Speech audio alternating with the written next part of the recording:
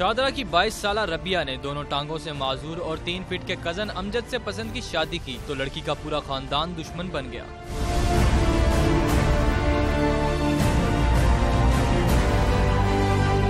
लड़की को रिश्तेदारों ने जान से मारने की धमकियाँ दी तो इसने तहफुज के लिए सेशन कोर्ट में दरख्वास्त दायर कर दी। रबिया ने मौका इख्तियार किया है कि अमजद से पसंद की शादी करने पर रिश्तेदार जान से मारने की धमकियाँ दे रहे हैं। अदालत पुलिस को तहफुज फराहम करने का हुक्म दे।